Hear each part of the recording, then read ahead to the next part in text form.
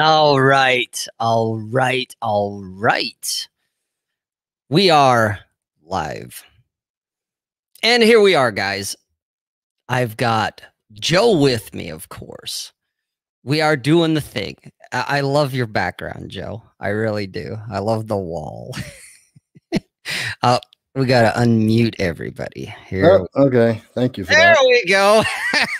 There goes my whole fucking clever comeback.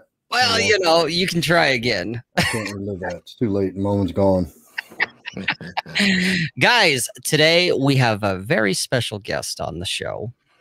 We've got Thor with us. I've been wanting to talk with Thor on the show for some time because I know I r- originally, kind of like Joe, I met Thor through John from Modern Life Dating on Dude Party. And Thor is, dude, he's an, an incredible man. He's an incredible individual, an incredible human being. So, Thor, welcome to the show. Well, thank you, Rob. It's it's it's definitely my pleasure. I mean, I've known Joe for a while, and I've met you just recently, and uh, you know, we really hit it off. Got a lot of things in common. Thanks for bringing me on, man. I- Hey, I thanks enjoy for- having a chat with you guys Thanks. I like to think the uh, universe brought me and Thor together. for sure. And, uh, what do you call that? When you bring the forces together and something good happens? I don't know. It's fate. it's either Destiny. that or serendipity or something like that. There you go. Yes. So here we are. We're having our little conversation. Three dudes, three guys that occasionally, I don't know, drink, fuck women, uh, do what we got to do. And I would say, to one degree or another, whether we like it or not, we're all we're all where we're at because that's where we need to be, and we're all, so to speak, living the dream. Even if it's not the dream you want right at the moment, we're Oh. getting there. Well, even if it's a nightmare, huh? Yeah, Well, even that's if- the secret. That's the secret to living the dream, gentlemen. Listen, nightmares are dreams too, and they don't last. So we're all living the effing dream. and there you have it. I like it. I like it because yep, there's been times I I wrote a blog piece here that I published about a week ago ti entitled "Did I ever tell you the time about?" And it's I started off with me talking about wanting to eat a shotgun round that I was looking down the barrel of the shotgun and the only thing at that time that had stopped me was my cats are looking at me. And I'm looking at them and I'm thinking, well, if I do this, who the hell's going to take care of them? because the way things are in my world, most people in real life, anyway, they're not going to get in touch with me for about a week after assuming that if I had done it on that day, it would be at least a week before I would hear from people. I mean, yeah, the job would have been calling me and going, dude, where the fuck you at? But they don't have like my extended family's number. They'd have no one to contact to be like, have you heard from Rob? And my dad, he's, you know, we talk about once a week or so. And if he hasn't heard from me in a day or two after that, he's still not really worried about it. And so it could be up to about two weeks before these poor fucking cats would have, you know, before someone would have come through the door to see, like, hey, what the hell's going on here? And that initially is what stopped me from putting a shotgun round through my head.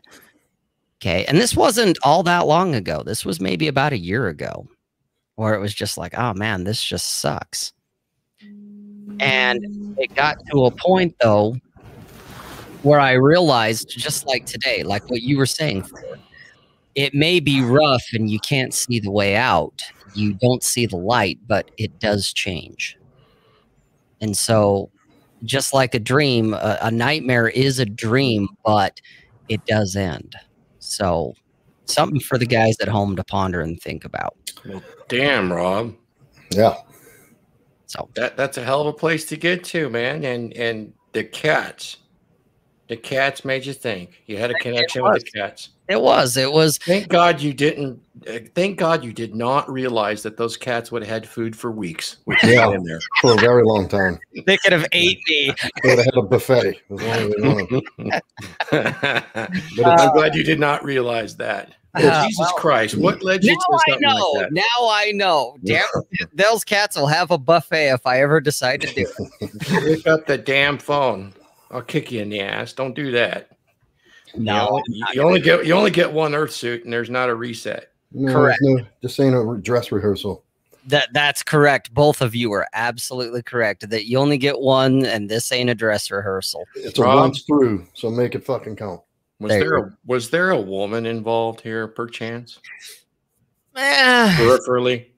peripherally, yes, yes. There, it wasn't a one-itis, so to speak, because I've done that when I was really young, like back in my late teens, early twenties. That was the one-itis, you know, back then. This wasn't a one-itis, but it was the ah, goddamn, I miss what we had. Not her per se, but I miss what we had, and couldn't see a way out of it. You know, it's interesting you say that because I draw a parallel. I had this conversation with a client just recently. He's in love. He gets in love, he meets this woman, but then he meets another one and he's interested in something new.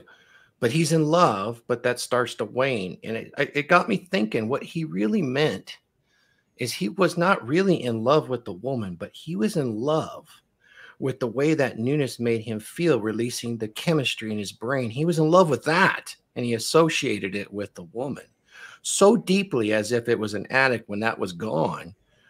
He was stunned, you know, and needed something new to replace it, much like an addict does. Uh, it's amazing how our brain chemistry works in that fashion to draw men and women together. And I'm sure there's something similar that happens with the woman too, long enough for us to procreate. For Well, sure. that is love. That Yeah. that's what love is. Is a chemical reaction. You know that. It is. It's very, very strong. And uh, And I mean, there's other shit that goes. But if you think about it from uh like a woman's perspective where they're solipsistic, it's about them, about the mm-hmm. feeling they need. They need that feeling.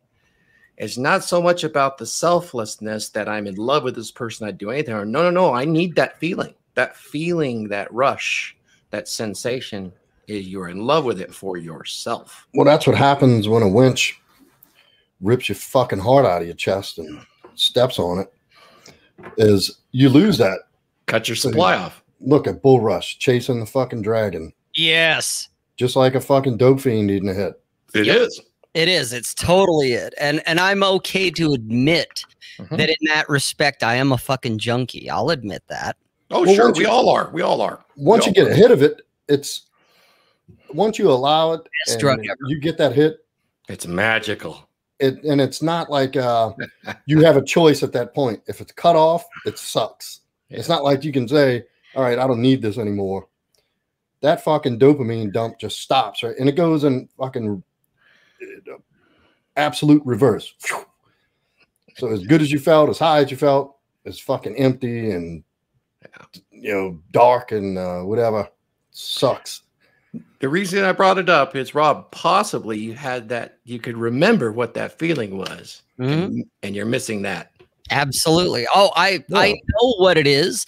That's the fun thing, Thor, is I can sit here on on this panel on this show and I can theorize and I can, you know, do the logical thing and especially the hindsight is 2020 thing.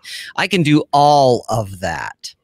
Okay, I can sit here and I can rationalize and I can, you know, the cool calm of stoicism and all that shit that we do as men. I can do all of that, Mhm. especially after the fact. hmm When you're riding the wave, when you are chasing that dragon and you're in it up to your fucking eyeballs, None of this shit makes sense. You well, don't want to fucking hear it. makes sense. You don't want to hear it. That, thank you, Joe. You don't want to fucking hear it. And all you can think is, I want more. I want Stay on that surfboard all the way to the beach. Yeah. And that's it. And so, you know, we talking about it and theorizing and doing the whole armchair Monday night quarterbacking about it. That's all great and fine when you've gotten through it and and you've you've either you've gotten another fix or you got over it, you went into recovery if we're going to use that term since we're talking about chasing the dragon a little bit. But it's another thing when you're eyeballs deep in it at, in that moment, and you're just like, man, I am climbing a fucking wall. Mm. and and that's the hard part because you can't all the theory and all of the rationale and all that stuff doesn't matter. At even least, your past experience, even the, the, oh yeah, doesn't matter. No, it puts you in quite a turmoil, and this is where when I when I was counseling man, young man that's going through this, he was reaching out because you know I feel like a lot of men are somewhat isolated from peers, peers yeah. of solid, strong men, because sometimes when you're in that pit of despair, you don't want to hear it such as Joe said, you just don't want to hear it. But by God, you need to hear it. It's ripping the band aid off. Well, and, yeah, and having men do that for you can actually help you uh, get through that. Now, that being said, there's nothing quite as good as getting that rush again. So spin the plates. That's a quick cure. And yeah. here's the thing you can always, you can never connect the dots looking ahead. You can only connect the dots looking back. Yep. Right. You know, and, and put this, oh, okay, this, this, this, and that makes a little more sense. And mm-hmm. The, and if you do it right, and I, I can tell you as a young man, when that happened to me, I didn't do it right. So, you know, when you're older and you have some awareness and you have more, you know, effective resources to deal with this shit, you have a peer group, like Thor said, you have a fucking strong group you can reach out to. Um, you know, connecting these dots, you can put this shit together to prevent it from happening again to a degree. Mm-hmm. But then there's also, and I stand by this and I will until the day I die, having your heart broken, like having your fucking heart ripped out of your chest and fed to you by the evil wench, is a rite of passage. Every man must experience it and survive it and come out on the other end you can't explain it. You must experience it. You have to. I think every man must lived. Otherwise, you've never really taken a chance. You've never really lived. And I mean, we all here. Here's the thing, guys. Uh, and yeah, this is going to go a little dark, but it, well, it is because it's the truth. Uh, oh, you like and I that. talked a little bit about it, Joe, but it is mm-hmm. going to go a little dark, and that is we at some point, for the most part, are going to die alone, unmourned, and forgotten. Mm-hmm. You need to come to that realization and accept that. It doesn't mean you have to like it, but you need to accept that you're going to die uh, alone, unmourned, and unforgotten because the world doesn't give a shit. It's just going to move right on, and barely anyone's going to blink an eyelash at the fact that you died. Okay. Because I've seen it multiple times over the last few years. And I'm not bitter about it. I'm not angry about it. It's just, it is what it is. And so you need to take your chances. You need to do the things you want to do. And I get it. Guys don't want to get hurt. You don't want to be looking down the barrel of a shotgun and it's your cats that are looking at you that get you to kind of go, maybe I ought to hold on for a minute here. Okay. You don't want to be there, but at some point you might end up there.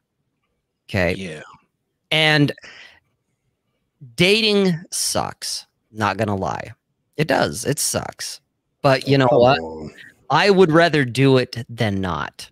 And no, so, absolutely. I mean, you got to live life, right? There's parts yeah. we don't like. And and here's the thing. Here's the thing. As in the day and age we live in, we have access to this tremendous amount of knowledge and wisdom that's gone before us. I mean, I'll just show you right here some of the most intense stuff that's ever been produced right here the rational male. Yeah. You know, I mean, this is a condensed version of it that's easier to read. And then stuff like this, right? You all recognize this. This information we have does arm you with, you know, some knowledge that you can blunt that trauma. And if you're selfish enough and you make yourself number one as your mission, you can certainly blunt that trauma moving forward. That's well, what my new course is all about is how to blunt that trauma and exist in a long-term relationship. So when the love fades, you know how to rekindle it and you know how to spark the newness again. Now, yes, there's very dark psychological tricks that go in that. And if I said it on YouTube, I would be considered a cult leader because oh. it's very dark and you can, for lack of better terms, manipulate people in a good way to their advantage and your advantage if you have some sort of moral foundation to do so. Um, so you can blunt that damage. You can blunt that by using the red flags, right? I mean, dating sucks and you got to get through some red flags, but you know, Come on, And- listen to y'all two. Dating does not suck. well, okay. I mean, ending it it- like if it's you really like somebody and it ends, it exciting. sucks. yeah, well, when guys say dating sucks, rejection, right? Like getting a prostate I- exam it sucks. I personally hate, I personally, yeah, I personally hate regret far more than rejection. Absolutely. absolutely. No, you I you know dating uh, sucks for me just for the fact that it's I got to get back out there. You know, I got to soldier on, put on Yeah. the boots again, and Clear that up so we don't scare everybody away from Right. dating. it's not that dating itself sucks. It's it's dating that okay, now I get to start over. Now I get to go back out there, whether I go to the bar, whether I meet them through day game, you know, some random woman on the street, or it's through online and I start swiping right. And it's the whole, okay, here we go again. Because Yeah. I've done it so many times over. Oh, I'm going to help you here, Rob. Rob, ah, I am going to help you so much here. I want you to reverse your thinking and think this way. How how could you possibly deprive these beautiful, sweet young women of the privilege of getting to know Rob says? No, I got you. I got you. And and there was another guy who said something very similar that uh, that I have got, but again, it's that whole your whether your eyeballs or not. But he said there's women out there right now fantasizing about a guy. Why not you? You know, why not you? Why not why not them fantasize about you? Well, and- and that to me was like oh that was a big one you know because it Yeah. was it's like well they are because we as men we fantasize about women whether it's the woman in our life or it's some actress celebrity some fucking porn star some random chick you saw at starbucks or or down at the local grocery store because that was one that I used to have that my ex-wife didn't like. She would always be like, "If we were to have a pass, would you give me a pass for Johnny Depp?" And I'm like, "Sure. Yep. Hmm. If you ever meet Johnny Depp and he wants to bang you, I'll let that slide." That's a good attitude to have. I mean, you're being realistic about Well, I a was person. being yeah, I was being realistic, but I also knew the odds of her ever meeting Johnny Depp and Johnny Depp wanting to bang her was pretty. not pretty going to happen. Yeah, where I was, she was like, "So what's your pass?" And I'm like, "The girl at the gas station behind the cash register." the 19 year old in yoga pants at the Yeah. checkout line with no Yeah, underwear. But but What that turned her on, didn't it? Yeah. Well, she, she got outraged. She was like, "What?" And I'm Oh, like, still not turned her. her on. "Yeah." I was like, "Not her." Well, then how about you know the the girl that lives across the street from us? Yeah. You know, I see her going out and washing her car, and I'm like, "Hey, what's up?" Isn't it funny how our mentality is different like that? Where, you know, they can see Chris Hemsworth and just melt, right? Yep. But for us, you know, you see that 23 year old that's at Starbucks bending over, handing you the latte, and all of a sudden there really isn't. And you catch a whiff of the MPJ, and no other woman exists for that moment. Exactly. exactly. It's not the it's not the Beyonce, it's not Satie, it's not Sweet Tea No. or whatever that crap is. Yeah, no, No. I don't think so. No, You know, it is literally the girl next door. it is.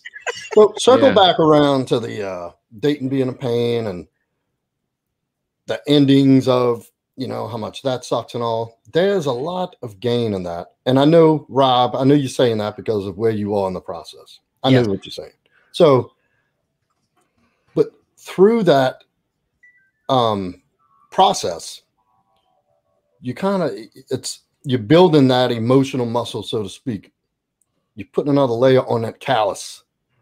So, which actually helps moving forward if something should come up and if something should come up to where you find yourself like getting the fucking I like this one again. You're more careful you know, you assess a little more, you're a little uh, more cautious about jumping into it. Like there's more, she's got to bring more to the table than just, you know, the vagina and the feels. Like it's got to be fucking quality there. So when you go through that, it's, and obviously in the beginning of the uh, breakup or the departure, whatever the fuck happened, it's not like that. You don't see it like that. It's not fun. There's no value in it in that moment. But but your course, and I've read through the stuff, very fucking interesting, good shit. It's also like a dose of preventive med- a preventative medicine that prevents you from getting caught in that trap. Yeah. to, Did you uh, notice that a big part of it's about creating uh, the potential or the the the covert potential of loss for the woman. Mhm. That right there, subject that subverts her her hypergamous nature. It also keeps her very fresh, very new.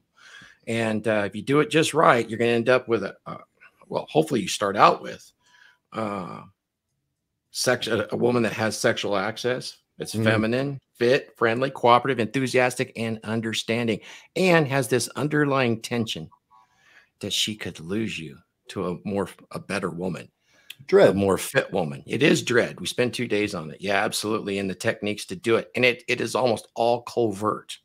It's it's kind of like what is that scientific principle when you bring an observer in, it changes the outcome? Oh, I know what you're talking about. It's Schrodinger's cat. Is it alive or is it dead? Right. Right.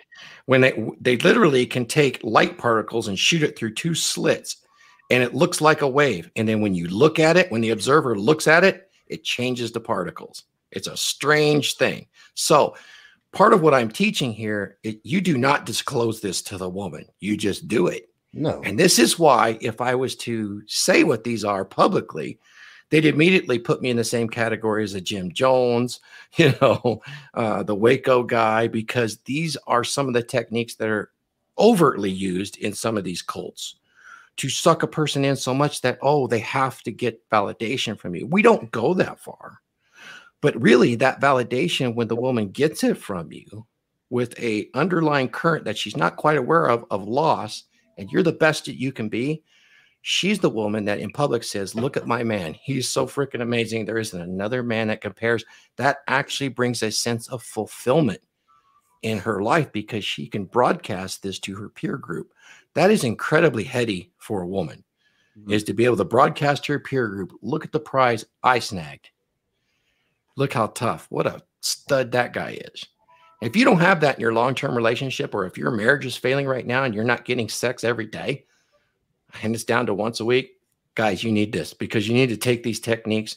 You need to start passing her compliance and fitness tests that she's throwing at you and start leading the relationship. And this is what the course is about. Thank you for bringing that up, Joe. Appreciate it. But that's for another story. Back to dating. You got to get through the red flags to even get to that part where you think you might want a girlfriend, right? I, th- I think a lot of guys would be very happy just having a nice girlfriend, one that they could pretty much count on to be loyal to them. Loyal and as sane as any woman can be. Yeah. I You mean, know, that's man, what they want. I like them a little nuts. Well, I I like crazy women too, and and we all know that women by default are not sane like a guy is because they're just Yeah. different. The best all- ones, the best ones are the ones that just look so practical, feminine, and high status, and just all reserved. And then you get them into the bedroom. Now it's wild ass shit. Mhm. That's the ones you want. yeah, yeah. There's crazies out there. Unfortunately, you know, uh, modern feminists really lied to women about what they can get out of life and what is fulfilling to them. You know. well, are we uh, not seeing that wave of uh, women who really got real deep into this feminism shit? Like the these mid 40s women, like you're starting to see more and more and more come to the surface talking about how they've been sold a fucking lie, telling these younger girls, like, don't fucking believe it. It's not fun over here. I'm 45. It's lonely. It's shit. It's I fucking yeah. I've noticed that I've seen, I've had conversations with women about this and who are vehem- vehemently against uh, the feminist movement now and want nothing more. I've talked to somebody who's older than that in the 60s, late 60s, and she confessed to me, you know, coming out of a divorce, she was now this strong, independent woman who wasn't going to be oppressed by her husband anymore, and went out and did the fucking whole FOMO thing. You know, had to do the catching up, and even found, even got with a guy who she was engaged to, and adored her. He was a, I mean, I guess you could call it. I know we don't like the words here like that, but alpha type you know, had control of his life, you know, uh, very proactive in his own life, took care of shit, was a, a, man's man. He could work with his hands, you know, he can interact. Well, she found him to be a little too overbearing with her son, and which he was just trying to lead the kid because he had no guidance. And she left the guy because of that. And she said he was too opinionated like if he would, in other words, he would call her on her bullshit. And so that was uh, 20 years ago. Mm. And she confessed, I wish I had somebody to love me. Like, I wish I wouldn't have been so pig-headed. I wish I would have been more flexible. And I'm lonely. I'm like, damn.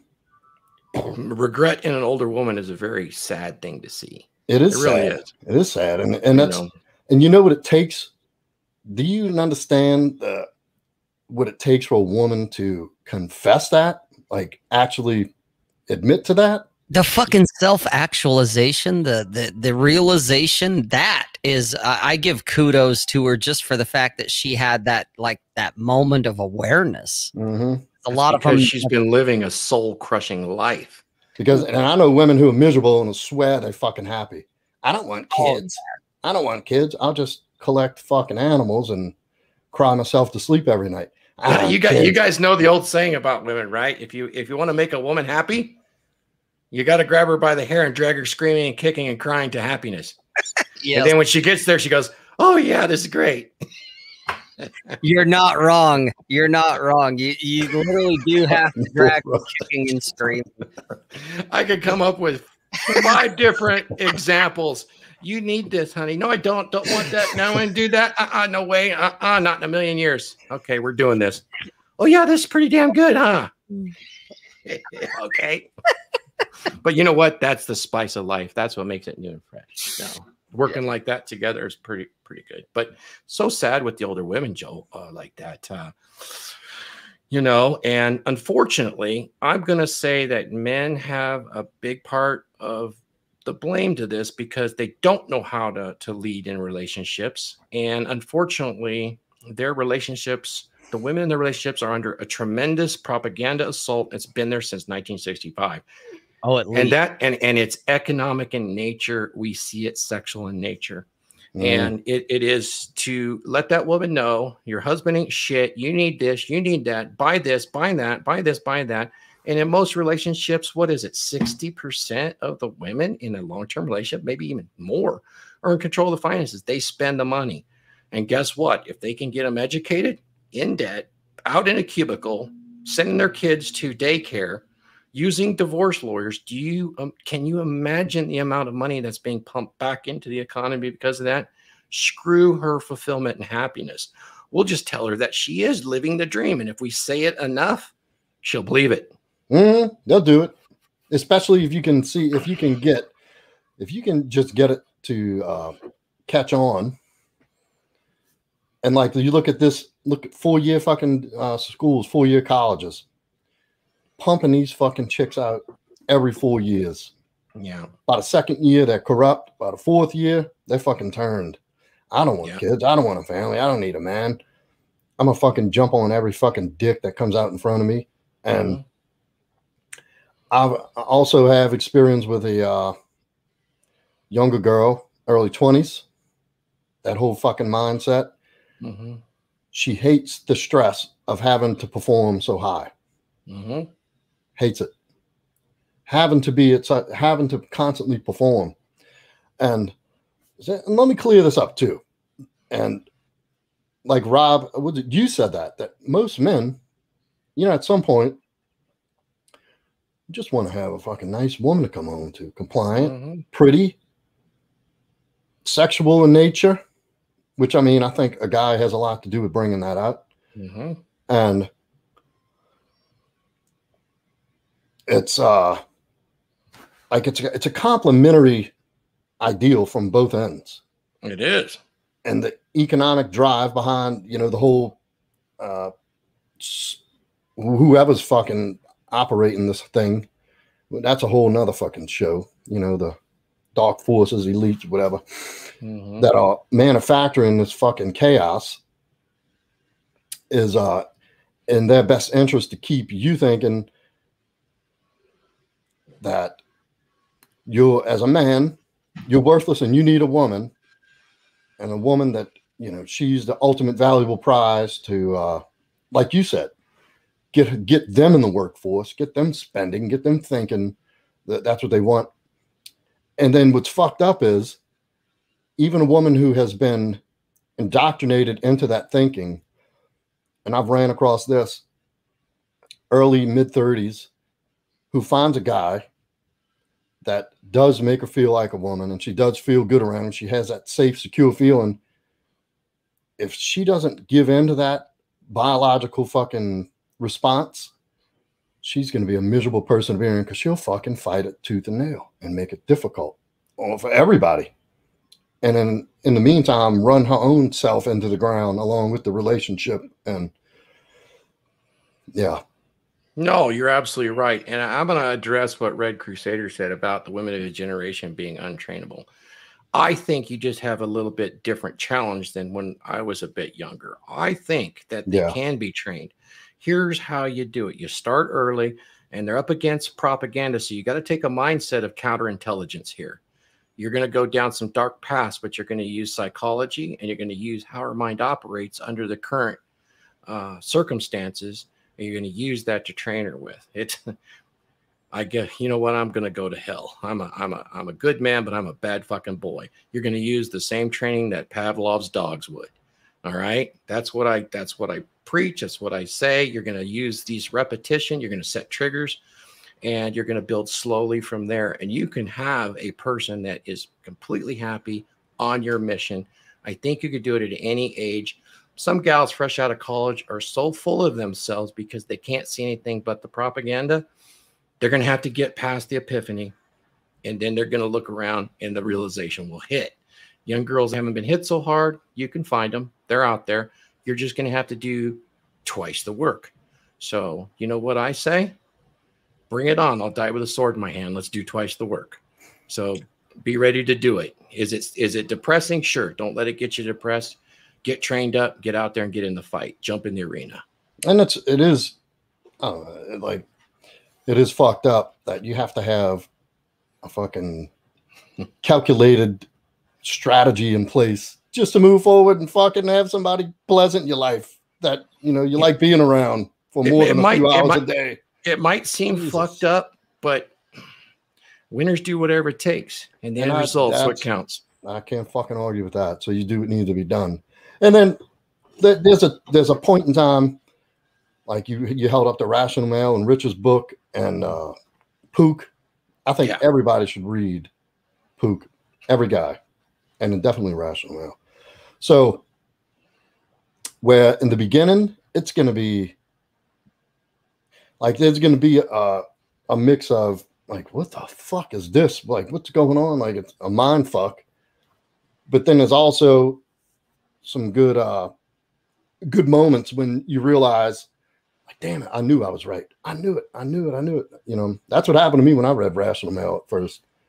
God damn it, I knew it back then when I was 16, and that chick I thought she just wanted to hold hands and realize a lot of your gut feelings that's your instincts kicking in yeah yeah gut brain mm-hmm. not talked about enough and definitely undervalued and not paid attention to nearly enough so but then after you get past the the uh I don't know what you call that, where you just mind blown and you get a little fucking angry about it, right? The anger phase. Yeah. Fuck, fuck everybody. I've been lied to.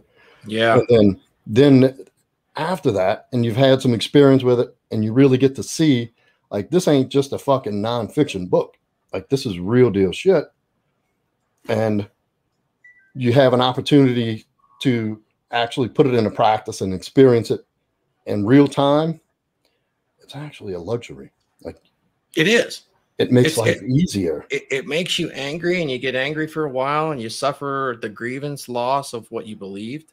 Well, there's a But part of actually- you that's dead now. There's a there's a part of your identity that has to cease to exist to move When you on. get when you get back from that and you start to see some success because of your knowledge, you have the keys to the kingdom. It is actually a feature now. It is not a flaw. right. and it's gonna it, it actually it actually improves you you Mm. become better because of this knowledge when you apply it unfortunately in our community there's those that like to dwell in the theory and not apply it in their own lives therefore there's they're somewhat depressed and i Mm. feel sorry for them i understand why you can get some satisfaction in knowing the knowledge but some of this is hard and you have to put yourself out there in the real world you have to step in the arena and sometimes you're going to bleed That's what we It's call part of the uh, red pill masturbators. So let me ask you this, and I've been guilty of this in the beginnings, was over fucking, for lack of better terms, the RP. I think we can't say the stuff anymore because you'll get fucking yeah pushed to the back of the line. Like you fucking overdo it. Like you over red pill shit. And now everyone's an enemy. Okay, okay. Yeah, because I don't think I could personally overfuck, just so No, you know. Not Okay. over fuck, believe me. I'm not saying that. But like- over theorize and okay, yeah. Pill right, right, right. And, Like, and then you you go out instead of being like, okay, I have a, a wealth of knowledge and information that puts me in a better position, the best position I've ever been in my life to move forward in every area, women, friendships, whatever, business. Yeah. Um, instead of coming from that mindset, it's coming out the gate suspicious. She's an enemy. Ah, She's uh, paranoid. Paranoid. she's uh like she's a single mommy whore who's had a ton of dicks and she can't pair bond and all this shit. you know can what I mean? damage yourself. I mean, as you think, so you become. You can damage yourself if you're not in that moment and taking Well, things at face value.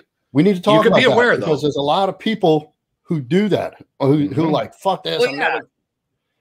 And it's That- that miserable. is that is our we we talk about like the feminists and and even when you know we were all blue pilled to one degree or another we we affectionately call it drinking the kool-aid okay but you know what even with the red pill you can drink too much of the kool-aid and that is what you're talking at that's what you're mm. touching on joe it is that paranoia that oh well she's obviously you know in order to protect myself i have to assume that she's a whore that has fucked a billion dudes and she's got 80,000 kids and she can never pair bond and mm. blah Just blah, Just your blah. turn and it's yeah it, you she's looking that- for the bigger, better option Right. all the time. And I think that's guys that A have drank too much of the Kool-Aid on our end. And it's also guys rationalizing a safety net. It is, and that the danger in that is you become black pill. There you go.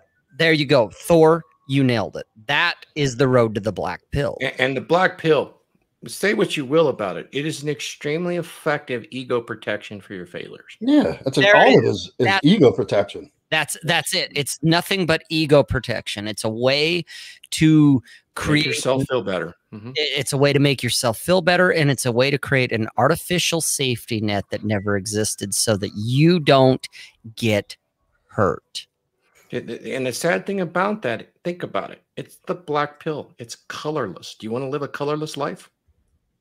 i don't No.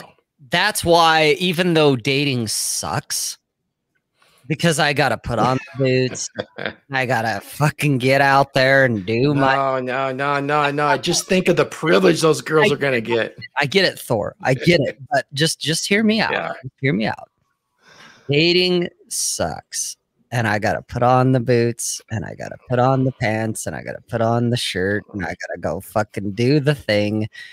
Yeah. And it's like, oh, god damn. But you know I what?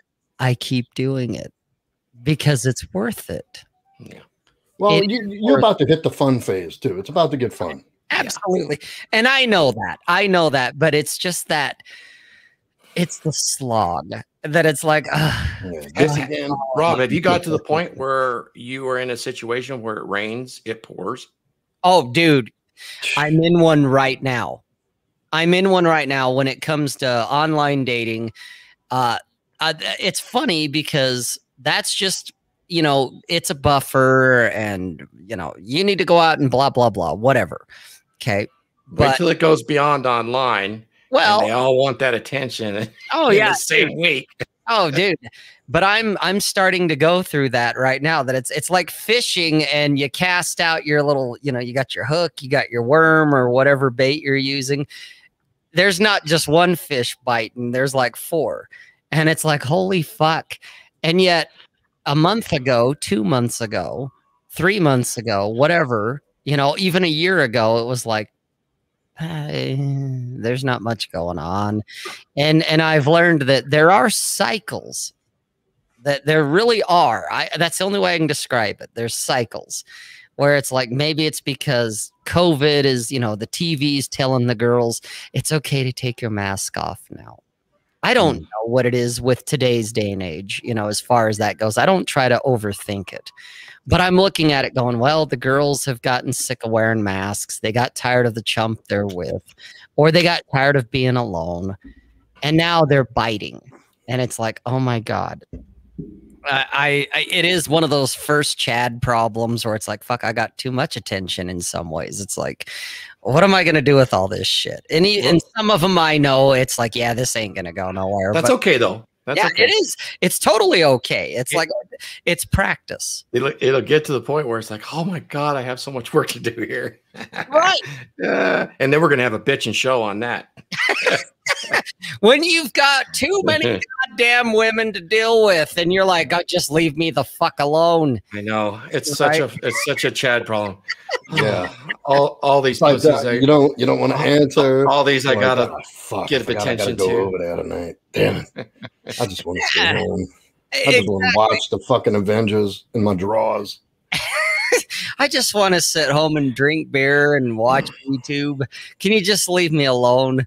Yeah, exactly. No, I get it, but it, it's I'm going from that transition of fuck. I got to put the boots on and I got to swipe and I got to go out and I got to fucking get shot down. Which I get it. It it it, it never getting shot down, getting told no. You you you if you do it enough you get used to it. I was about to say, does that bother you still? Uh, not really, but at, at a certain point, it it still kind of stings a little bit. Okay. Really? And it it does. It- it's not enough to make me stop. It's not enough to make me pause. It's not enough to make me say, fuck it, I'm not doing this. I'm going to go live in the woods somewhere and be the next Ted Kaczynski. Okay. It's none of that kind of stuff. It's understandable. But it, it still sucks when you're like, damn, she is hot. Mm, yeah, I don't like that. I want her, and yet she doesn't want me. And it's like, I get it, whatever. So you move on to the next girl. You know my experience with that is? Mm. Say you get a string of fucking L's, right? And um you get to that point, you're like, you know, motherfucker. Or you just get so like, whatever, I'm done. And you just get this attitude like I don't give a fuck. And you do the dumb shit that you just wanted to do anyway. Like it comes off. That's when you wind up having the most success. When you just like at the point where you're like, ah, fuck it. I ain't trying no more. Right. It's like boom, boom, boom. Here it all comes, you know? Yeah. Mhm. That's my experience anyway. I don't like rejection does not bother me in the Oh, least. no. It's you have to accept it and get used. You have to get used to the idea that just like you as a man, you have your your type, your preference, your this is the girl that flips all the switches for me. whatever it is, whether it's physical, sexual, intellectual, it doesn't matter. Mhm. She's no different. She's going to have whatever it is that flips the switches for her. And you may not fit that. And odds are, honestly, you're probably not going to fit that. And that's why she's going to tell you in one form or another, she's going to tell you no. And you need to get over that and just realize, eh, it's not personal. She's not saying you are a piece of shit. Mm-mm. She's just saying you're not what I want. And so you go, ah, fair enough. And you move on. But it does, it, it, it can get to the point where you're just like, ah, God damn it. Well, Do I really have to say that line again? yeah, right. but I've noticed too, like as you go along, more experience you have with the dating on the whole dating scene and spending time with women, really getting to know women, you, you have a, this understanding of uh, female nature. It's like you could take said girl who said, No, I'm good, not interested, whatever. In another fucking dimension, you had gone approached her 10 minutes later. And she could have been in that moment like literally thinking about something that some chick said at work that pissed her off. And she's just in that space for about 10 minutes. And you got the no right then. Mhm, right guy wrong time. Mhm. you know because we talked about being the right guy at the right time Which has been most of my success, is Yeah. literally just being the right guy at the right time. no on some level i mean that's everybody's success Yeah. you're the right There guy at the right time You know what? Nobody wants to fucking talk about that. That it's like, hey, sometimes it is. It's her mood, whatever it is. She's in the mood for bearded or non-bearded or whatever it is. She's looking for the bad boy or she's looking for the clean cut guy. Or it's sometimes I've encountered in the past. You were the last man standing because you could outdrink everyone else. There is quite a bit of that. Now, I, I just did a video uh, to try to improve men's odds when it comes to social environment in person. I just did a, uh, been working on it for a little while based on some counseling sessions with some guys I had and trying to improve their uh, masculine presence. Mm. So I did a list of those, just telling guys, look, it's kind of hard though to talk to guys today and, and get them to increase their masculine presence. And you all know what it is. I mean, at the extreme end, cops use it, it's called command presence, right? Mhm. Um, I know there's body language that goes with this. It's Yep. but if you don't understand it and you don't know how to approach it, you come off as a puffed up douchebag. yeah because you're not embodying it you're not internalizing it it's uh You have to develop the mindset that you're the hero of your own movie. I mean, you take up space, but you're not obvious, right? You touch people more.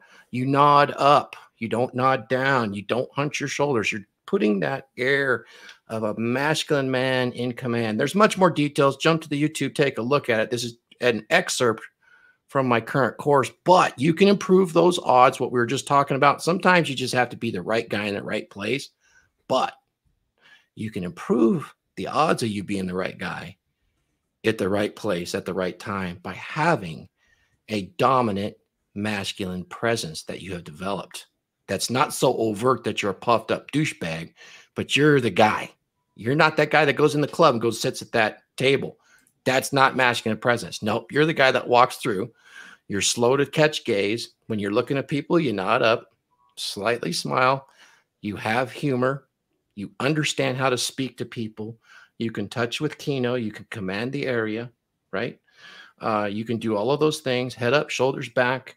You have self care. You're always presented as your best self. These are just some of those things, right? And you have this this air of personal value about you. You can increase those odds of being the right guy at the right time. Uh, it's just just a few of the things that I present, but there's a there's a quick list. You guys can look at it. But if you do it all at once, you've never done it before. We've all seen the guy that goes into the social environment. Yeah, I know. I've done everything. I know Kevin Samuels. I know Myron Gaines. Yeah, you know you can't can't be that guy. you know. In fact, don't ever reveal too much. Here's a great tip, Rob. Don't ever reveal or name drop Yeah, I've had two Lamborghinis, two M1s. No, but you can improve your odds to be the right guy. When it comes up in conversation, you can reveal it. Yeah, I might have had one or two of those. you know what I mean? You're, Oh, you're yeah. allowing that discovery intention. So, anyways, I kind of went off on tangent, but I wanted to say, yes, there is a huge component of luck and being in the right place at the right time. But you can improve the odds when you're there in your favor. I, I agree hundred percent with you, Thor. I want to add to that. Please. the biggest part that I've found over you know 30 fucking years of dating, doing LTRs, doing a marriage and then getting back into dating, doing spinning plates, all the all the buzzwords that we all know and love and cherish. Okay? One of the things that I've found that a lot of guys seem to either ignore or miss entirely or they brush over, they gloss over when I, when I mention about being the right guy at the right place at the right time, you have to get out there. Okay, that it, it like for me, day game is not my thing. Walking up to random women and just starting to bullshit with them. I respect the guys who do that. That that is just one. That's a hurdle that I have find very difficult for me. Okay, not saying I can't, but the returns on it are just way too low for me. So I go where I'm good rather Smart. than yeah I, I go where the fish are that that that you know as a fisherman i go where the fish are that i'm going to have success with Mhm. so for me it's either online or it's it's night game i guess if you want to call it that it's going to Ah. bars okay and that's part of the key is if you want to be the right guy at the right place at the right time that means guess what guys you got to go to the bar or you got to go wherever it is that that you have found a group of women that would be interested in you Can And- I add something to that? absolutely please Not only do you have to be there, you have to be there and be armed with, because you can go in to the fucking situation where a woman is pursuing you.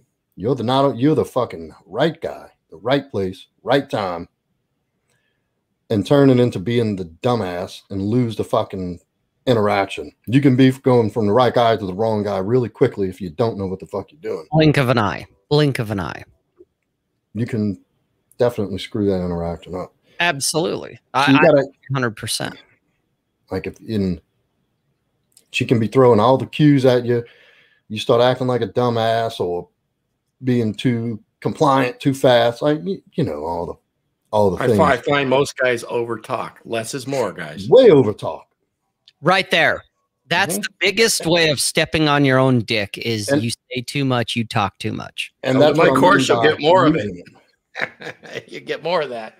Yeah, over talk. You can state too much. Less is better in most circumstances. absolutely she wants to she's let her write the fucking romance novel Yep. let her fucking have it give Well- her the gift of writing that fantasizing about that letting her fucking imagination do the work Shout out to Rollo Tomassi. What was one of his iron rules? Never, never explain to her or give her the reasons why she's Don't not going to fuck you. Yeah, Yeah. don't don't de- don't explicate demonstrate type of thing Yeah. No, no. He says he goes and he's very specific about it. Like, don't give her a reasons. Don't oh yeah talk her out of fucking you. Yeah, something like Yeah, that. don't give her reasons for not wanting to fuck Yeah. you. yeah let her let her figure out why not to fuck you. Exactly. Yep. Yeah let her let her determine that don't don't do that for her I mean, the right guy, right place, right time. You're basically there to not fuck it up. You know, you're basically there to not fucking ruin it. That- And it can be something as simple as telling her too much. Like, and- yes. like you can run on for four minutes and just she's like, oh Jesus, what the fuck is I thinking? This dude, the Mhm. chatterbox. Like, oh, I could see what this night's gonna be like when I want him to fucking bang my head through the headboard. He's gonna be talking to me.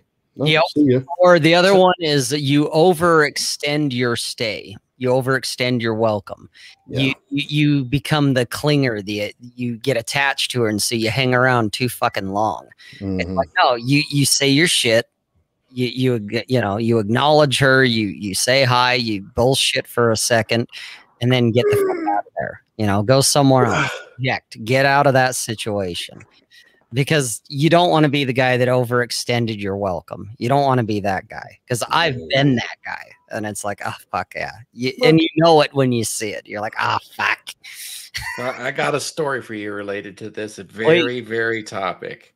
If Wait. you guys want to be patient, this is a good one. Let's hear it. I want so to. I worked out in gyms a few years back, four or five years ago, and I am working out with an NPC, uh, National Physique Bikini competitor, and I've worked out with her for a year. Right, hot, looks great, part Filipino, beautiful.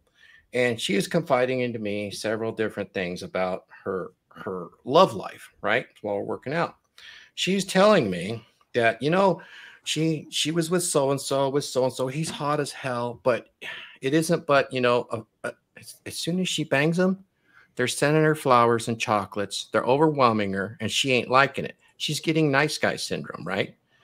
And and so she's sitting here telling me you know, sometimes the sex is good, sometimes it's not, but it, it, it, wanes off. And then all I get is phone calls and text and, and it, all day long.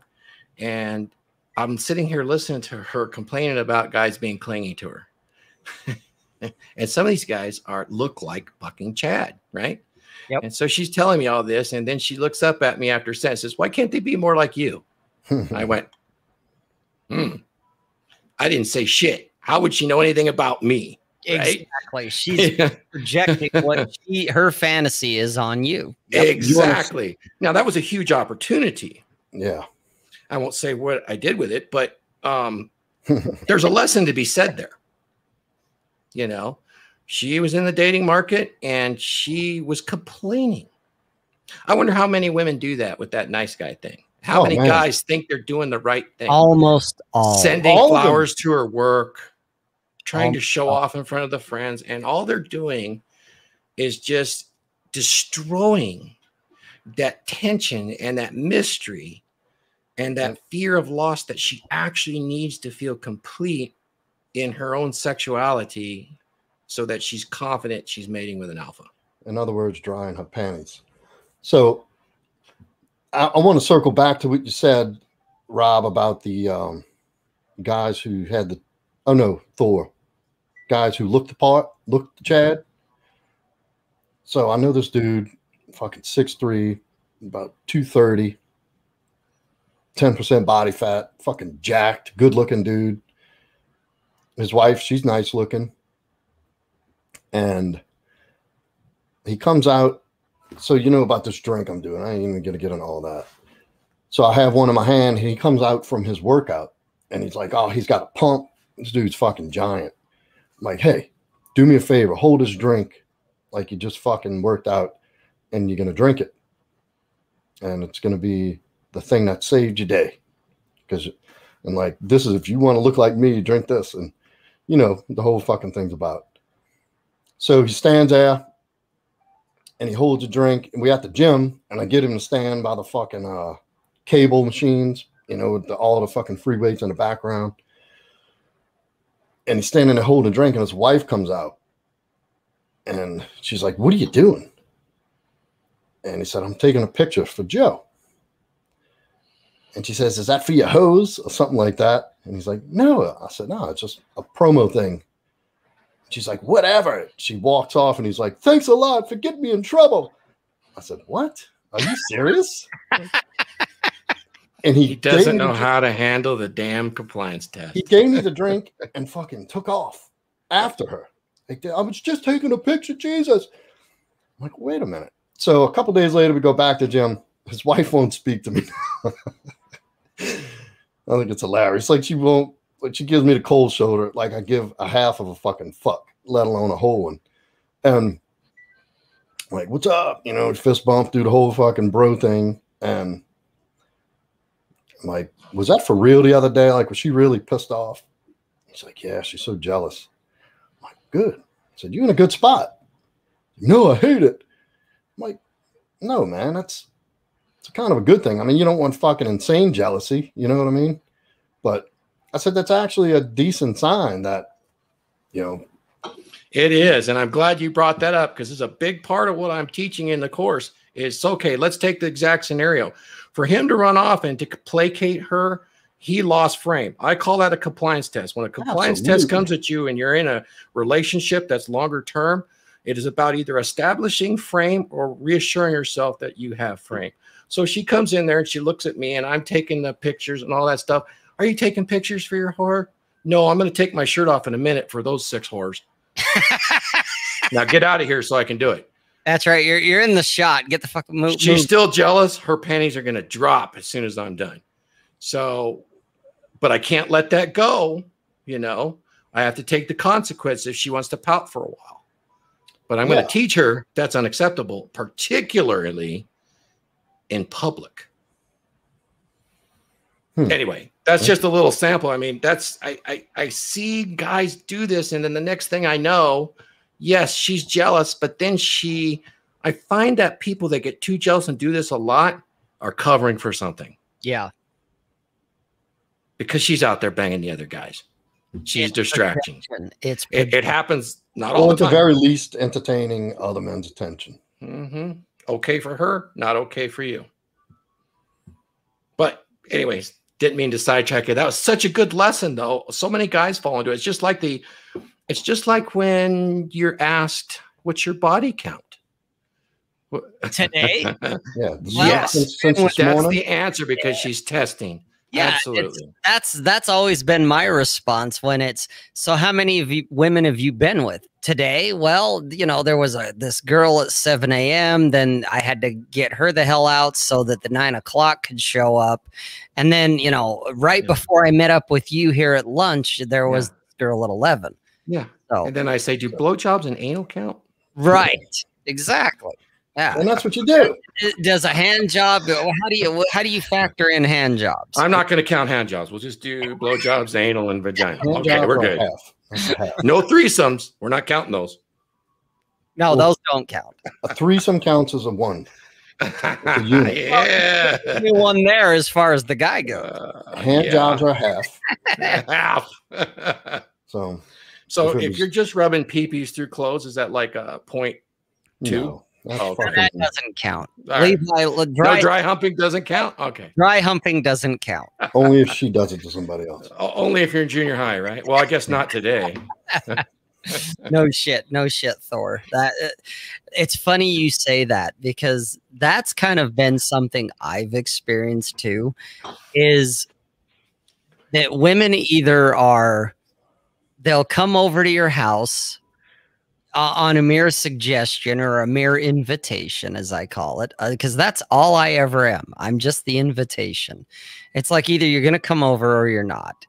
And if you do, great. And if you don't, great. Because either way, I'm home. I get to do what I want to do. So it doesn't matter really in the long run if you show up or not.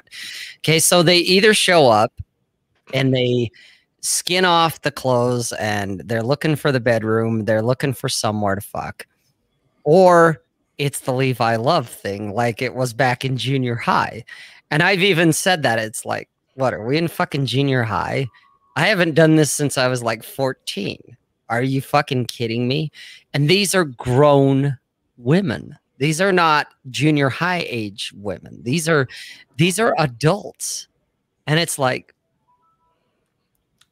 hmm. where where what have you been doing? What where have you been? Eh, you know and i and i'm sure they have a history and oh rob she's just not that interested whatever. I, I, who knows? But i'm just sitting there thinking really?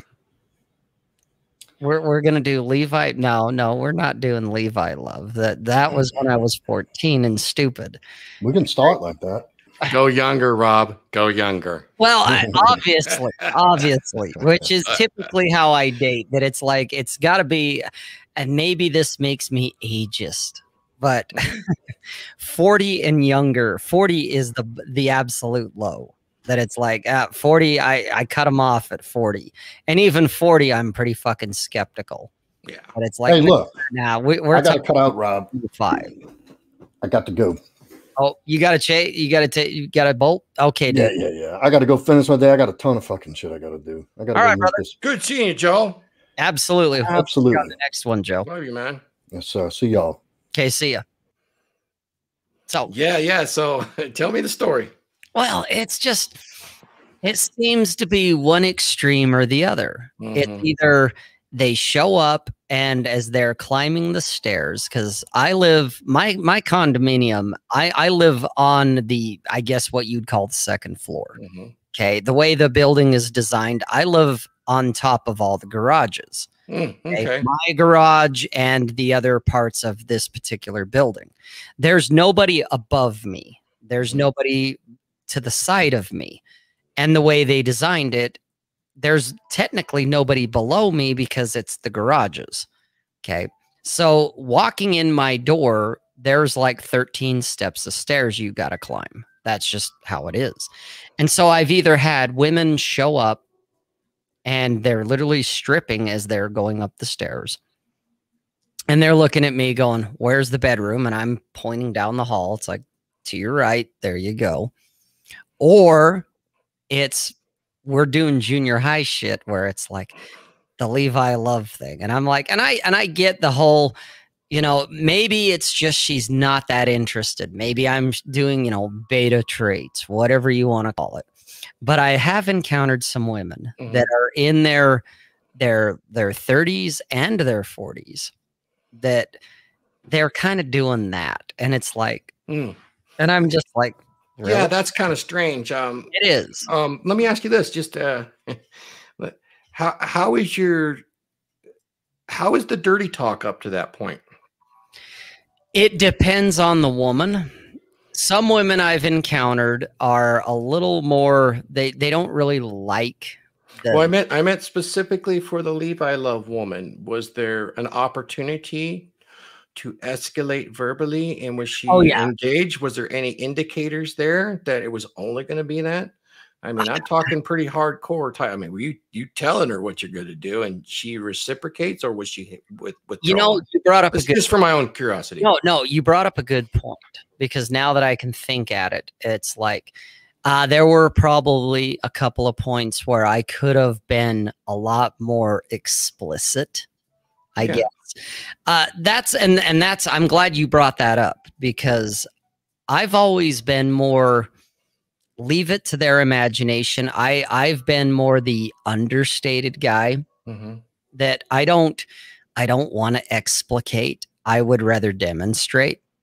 And so everything for me is always an undercurrent. It's it's, it's Mhm. there. They know what's there and I let them you know, I let them come up with their own fantasy, I guess. Okay. I don't, I don't speak a lot about it, especially on the phone or via text, just because one, this isn't a 900 line. I'm not Right. here to talk dirty to you so you can get off. And meanwhile, I'm not mm-hmm. getting anything. No, no, no. End, end result. What I, what I what I would ask you to consider and our listeners is consider that when you are more explicit, you're building a story. You're you're very good at telling a story. So you're telling a story and guiding her fantasy. You're actually in complete control of her mind and you are making her body respond based on your verbal commands. And you're the, the key to doing this is to make her repeat things back to you. So as you're making her repeat these things, oh, I see there's some wetness here. You like that, don't you? Make her say something. I'm asking her a question, right? So I want engagement. I'm not explicating for her benefit. Right. I'm, I'm I'm painting a story or a picture that I'm basically put it giving her a deal that she cannot refuse. I like that. And I and I'm gonna have to try that out. I Uh, could go into more detail with you. I do a lot of this on the sex module because believe it or not, married women need this. They need. Oh. They need to get the newness. And this is one of the techniques you can use to get newness. And I've done I've done some private surveys on dirty talk and engagement. And it, it's actually more important for women. They have an auditory sense that we don't. Remember where we talk about their subcommunication? yes. how good they are there is a huge component of that that is sexual for them huge it's how they compete intrasexually so if you can tap into this and most men aren't adept at this because they're afraid to do it because it sounds rather crude but if you're in the environment where the arousal's there it's not that at all it's that i'm actually commanding the situation Stirling Cooper is very good at it and him and i've had many discussions on why this works so damn well with almost all women given that you've set the circumstance to do so. Um, women are also very, if, if they find you attractive, watch what they do in text. They're very much more open to that sort of stuff on Oh, text. yeah. Yeah. But you can open that door. And then when you get to your voice, you can use cadence, you can use pacing, you can use pauses. You'll ask the question,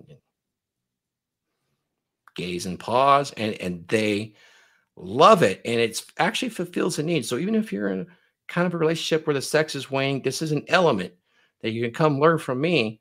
And I got plenty of examples. I might even bring a person in and show you guys That'd be cool. it, it would be really cool and because it works and um some of this is is based in it's definitely based in science that's out there that you can research yourself about how female sexual response is.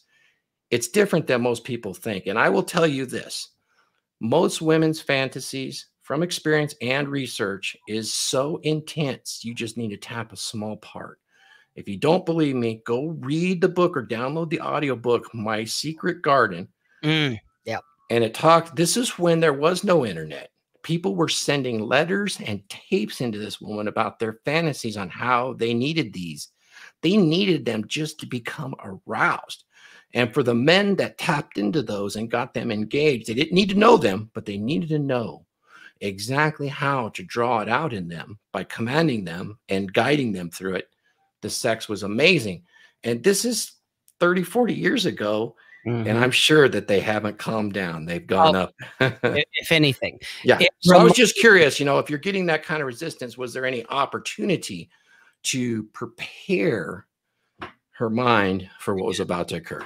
absolutely and and like i said you know hindsight's always 2020 um one of the things when you mention like you know with the the wording the the language the verbal one of the things i've always been pretty good at and and this is i guess the study of human interaction psychology whatever is the the body language side of things.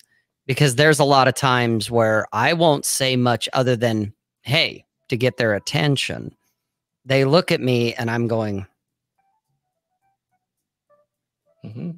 you know i've had women in bed where they start closing their eyes or something. Mhm. i'm like where are you at i need you here open your eyes look at me You just commanded her. That's going to turn her on, man, for sure. That's great. and and i've not yet had anyone fail that i guess compliance if you will they've always opened their eyes and looked at me while we were doing what we're doing Uh, Yeah. In the heat of arousal, it's a very attractive woman to be, you know, um, believe it or not, you read that book on their fantasies, a lot of them want to be, this is very politically incorrect, but to be controlled through the experience. yeah they want to be for lack of better words they want to be dominated dominated, controlled, and have that feeling of the highest level you'll see in those fantasies is uh, compliant non-compliance.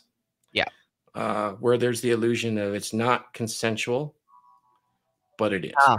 Yeah kind of a rape fantasy yeah Kind of, but it's it's at the point where nobody's getting hurt.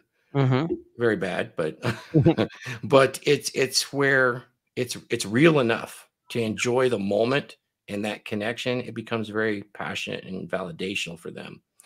And as soon as you spill the beans, it's like it's like destroying the illusion of the magician. Once you know, yeah once you know magic yep yep that's that's why you can't really red pill a woman. no you can't. It's the observer effect I talked about, Yep. and why my course is only for men. Well, and it makes sense. You know, it's like even Rollo said a while back men don't red pill other men, it's women that red pill men. Mhm. You know, that all the stuff we're doing in our little circle type of thing, it, it's not for women because most women that I've encountered that have either stumbled upon it or sought it out, they're usually the ones going, Oh, you guys didn't know that? Yes, You know, I they're find like, that more often than not. you guys are like in grade school while we're in college. Mhm. That we're we're stumbling around in the dark and thinking we're fucking clever. And yet it's like the women are like, well, that's just a given. You didn't know that, really? It's like, You know, and here we're thinking I'm making great strides. Yeah.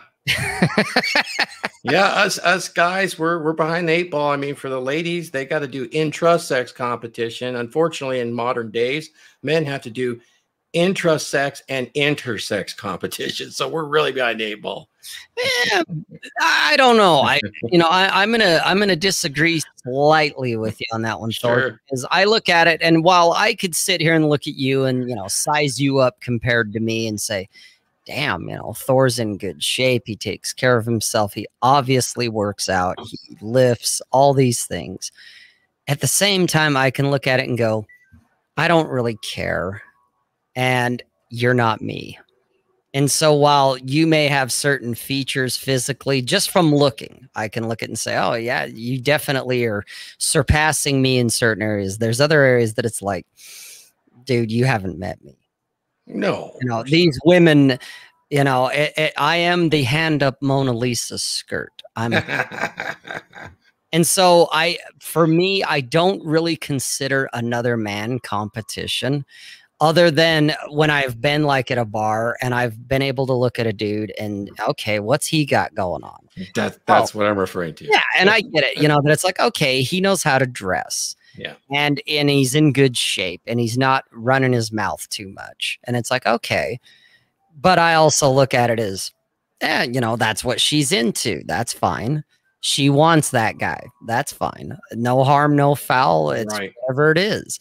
But then I just look at the next girl and it's like, hi, I'm Mona Lisa. You know, I'm the hand up Mona Lisa. That's the abundance mindset. It doesn't oh, matter. Oh, really? As long as you're the best you can be. And that that's the only part where when it comes to the intrasexual for men, because I know, for instance, and this is where I think, and I could be wrong, but I but think we do we do compete on all levels for oh, salary, we, position, we, sociology. Yeah, totally, totally, we do. Absolutely, I'm not going to disagree with you at all on that. But here's one area where I think men and women are different. Is okay. I could walk up to you. At least I think I could.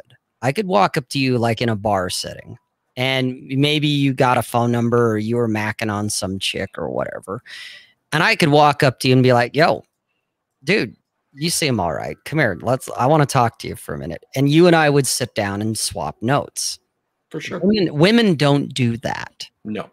Okay. That is the advantage that men have is I could walk up to Thor and be like, dude, where'd you get your clothes? Where did you, you know, I could smell your cologne. What is that?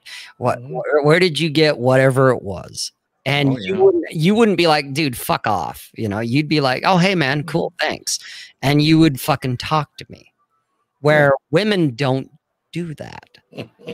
Women you know the, the, everything every other woman's a bitch to her you know? And so the, yeah the level of intersex competition amongst women way higher way higher. Yeah.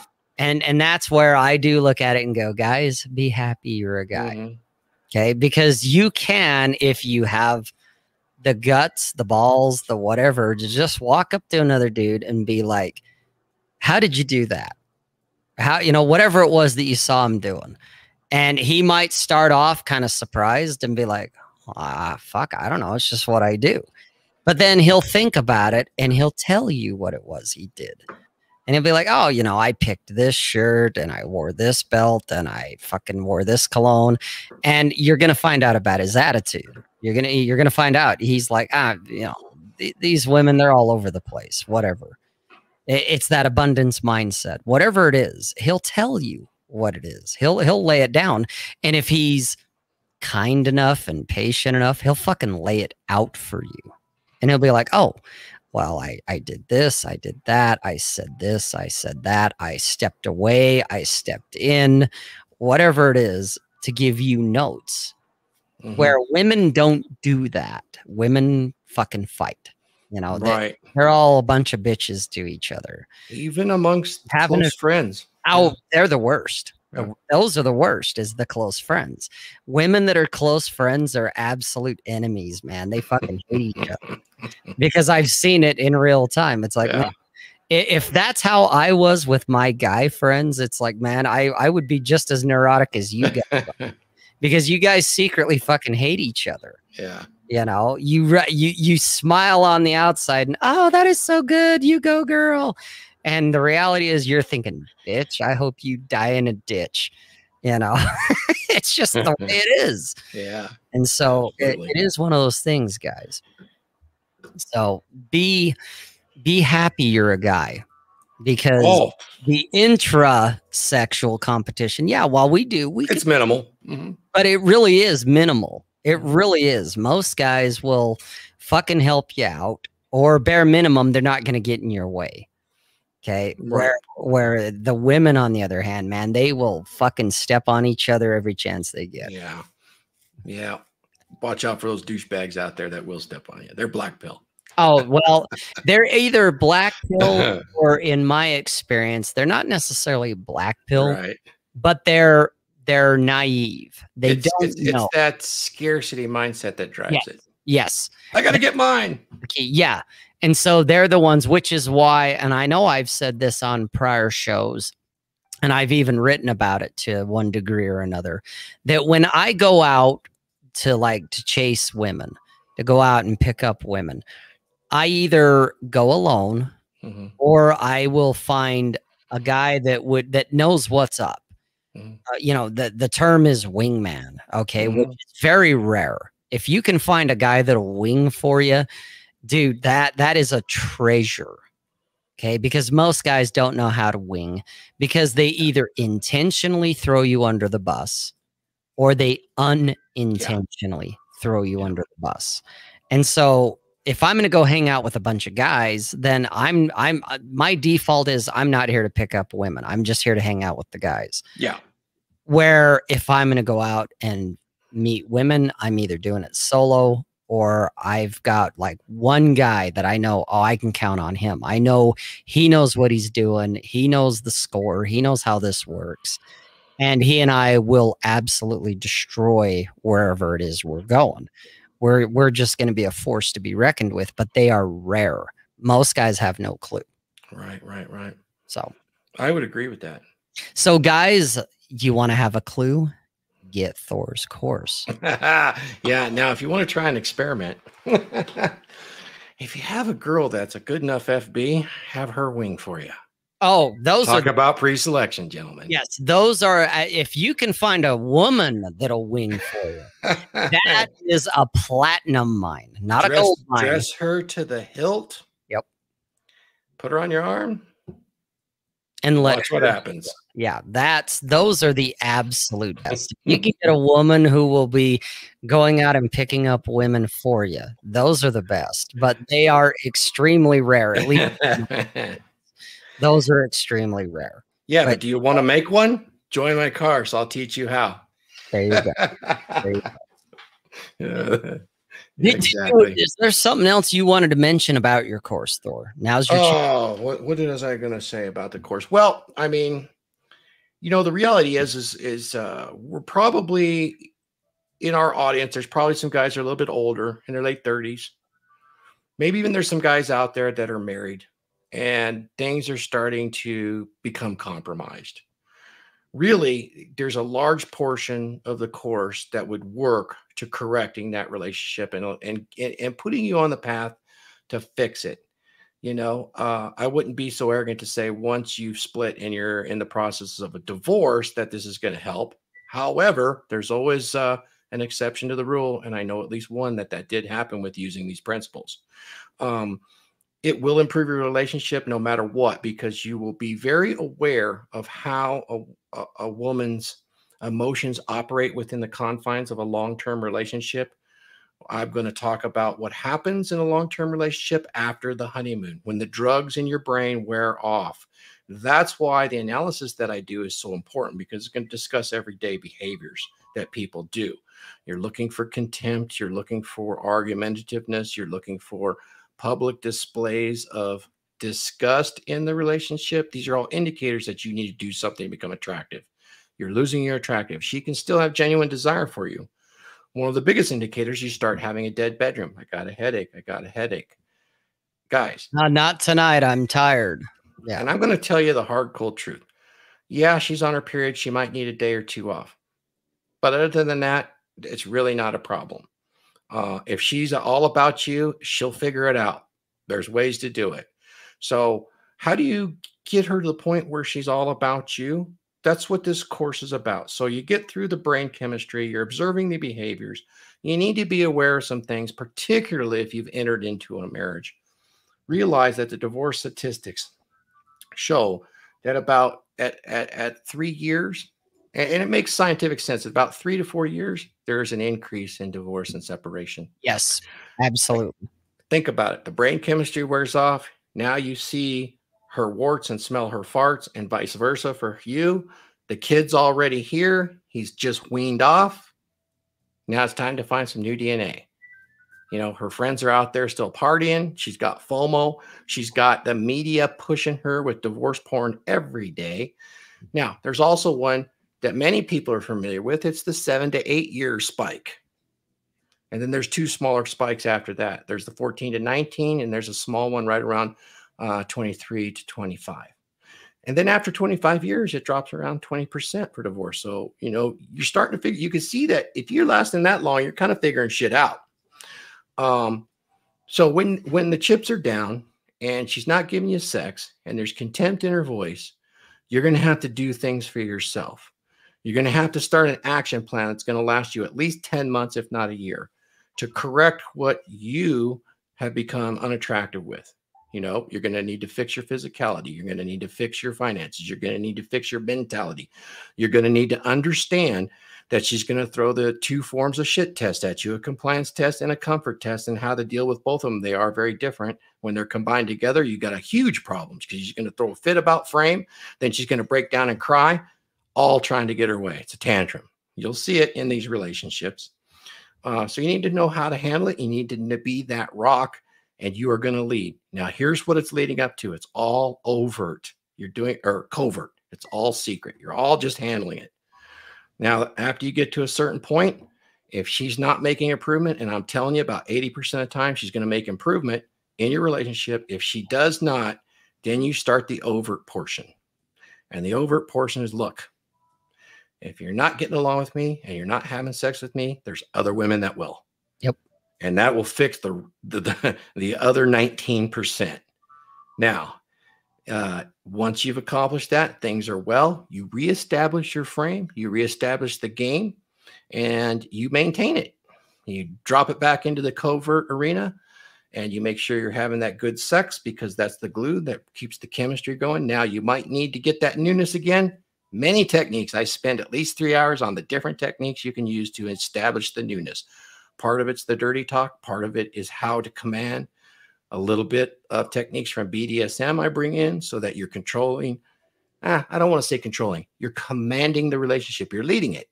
Now you're not. Uh, you're not a. Um, you're not a ruthless tyrant. No, not of course not. But what you are is a magnanimous leader. So I demonstrate how to do that. And then finally, on the fifth day, we're going to discuss alternative lifestyles, which you know, given your um, religious background, some of it we're going to talk about multiple marriage. We're going to talk about uh, uh, polygamy. We're going to talk about non monogamous types of relationships and uh, how those can work in a long term situation and which the pitfalls you have to be aware, aware of. There's quite a few warnings.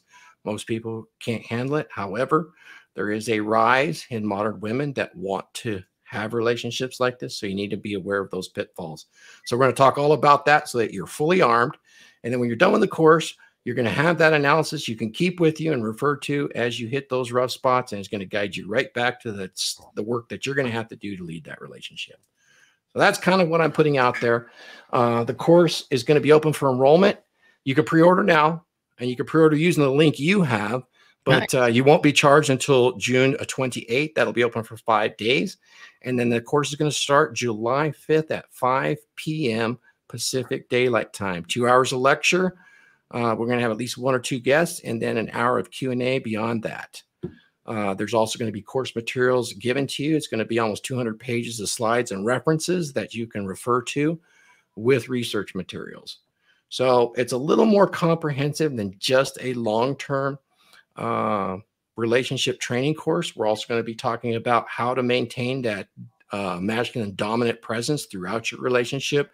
That goes a long way to maintaining attractiveness levels. So basically we're going to remodel you and you're going to get a better relationship out of it. You'll get the girlfriend of your dreams and you'll learn how to keep her forever. I like it. Very comprehensive from what I'm hearing here. That it's like, yeah, this isn't just something you're going to go through in a day, guys.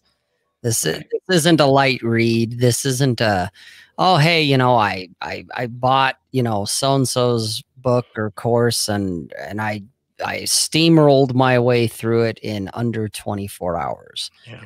I It'll know be 10 hours minimum and we'll probably be going three hours a day. It'll be five days long. So, well, and I know from uh, Thor gave me a little preview, a little taste. And the, when I started looking at it, I was like, holy shit.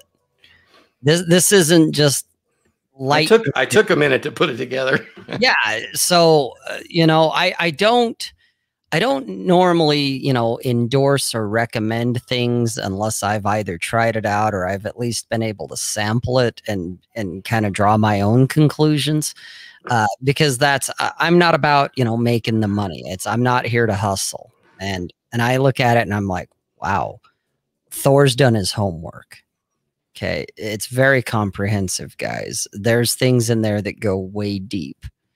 And and there's even, you know, even me being the the consummate bachelor, being the guy that yeah, where I I know for me I don't want kids because I don't have kids and I'm almost 50 and so I don't want to be a dad.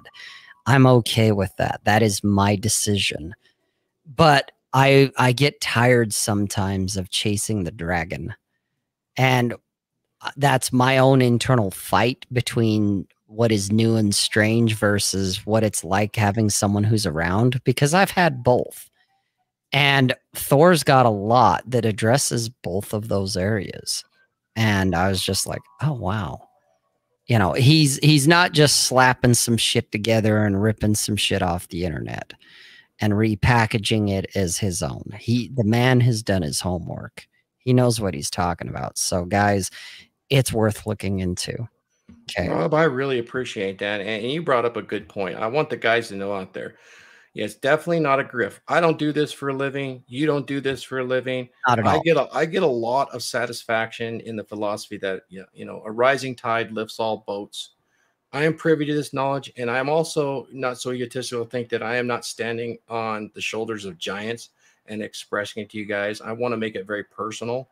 And the reason that the that the course costs what it does is I have to cover the cost essentially of the internet, you know, obviously the broadcast system, the printing, the putting together the videos and all of that stuff. That's the reason it costs. And also because nothing uh, nothing of value is just straight free. You don't take it for what it is unless there's some value attached to it. And, And I agree. really that's what you need. Yep, and I Mhm. agree with you 100% on that. That if if there's if it's free in that sense, then nobody cares. That's like, ah, it's free. Who fucking cares?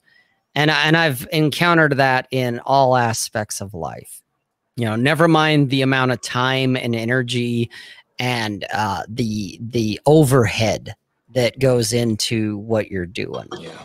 It's the fact that well, if you give it away, nobody fucking cares Right. where if if you charge something for it then people tend to sit up and pay attention to it so i agree with you 100% so his asking price guys it's not unreasonable. I'll say No. it right now it's not unreasonable at all. he could probably charge three times and it would be reasonable. It's like there's a lot here and you're not if you get through it in in more than you know if it takes you two days and that's all it takes you to get through it you're going way too fast. You're mm. you're not you're not reading it you're not comprehending it you're not in you're not digesting it uh, there's uh, there's things that he showed me that i'm still looking at that i'm like well Now, now, Rob, you got to see, see all the lecture slides. Yeah.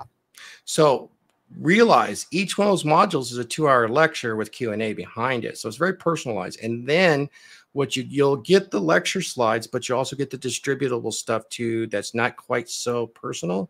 right That because discretion is part of what we do. sure And uh, but we're going to give you real life examples. Uh, and that right there guys like I said, he he gave me a preview so that I knew what I was getting into because Thor understands that I'm not just gonna blindly promote somebody's whatever it is. That it's like that's not me. I don't I don't want to get guys going down the wrong road type of thing. And so, because I've had guys try to do that, they're like, "Hey, here's my affiliate link. You know, promote my course," and I'm like, "Well, who the fuck are you, and what are you doing?" You know, I, I don't want to fuck guys up. I want to help them out. And so I'm a lot more reluctant and reticent to just start promoting somebody's things. And, but what Thor showed me, I'm just like, holy fuck. It's like, well, there's a lot here. And all I got was literally the sneak preview. That's what it was. And I'm just like, holy shit. So, guys, it's worth looking into. So consider it. Bare minimum, consider it. You, are not going to regret it if you do. Well, thank you, Rob. I hope to see you in there too. That'll be fun. Dude, just send You'll me the link, uh, dude. Send me the link. I'll I'll I'll talk shit. All right. I welcome it. I'll I'll give I'll give my two cents about whatever. Absolutely, you know man. how I you know how yeah. I. So bring me in if you want. Uh, uh, you know, if, if our time schedules work out, I'd be more than happy to come in. Okay, you bet. So, absolutely. So yeah, guys, hey, right there, you're just finding out right now.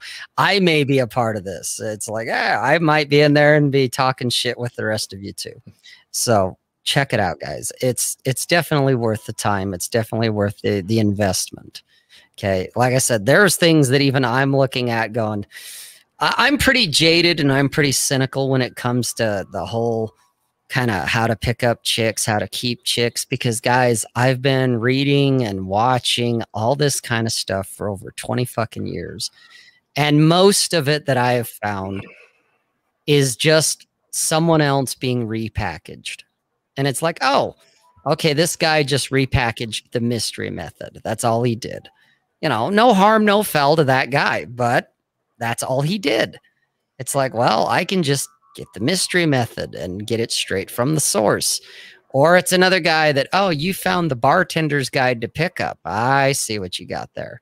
And for you guys that don't know what the hell I'm talking about, that is the age difference. Okay. But it's like, oh, you're doing that. Okay. Cause I've literally seen it all at some point, guys. Cause this is an area that is very, you know, it's very close to my heart. I'm very passionate about it. Okay. So I've I've literally seen it all. And Thor's got something that's like, whoa, I didn't think about this. I didn't see that. You know, it is refreshing, it is new, and he he dives way deeper than than most of the stuff I've encountered.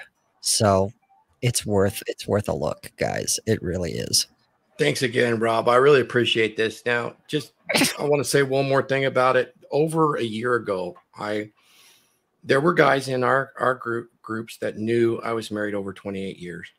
And then they knew the lifestyle that I lived. And there was a lot of interest, very much, because quite a few guys, yes, they want to be players.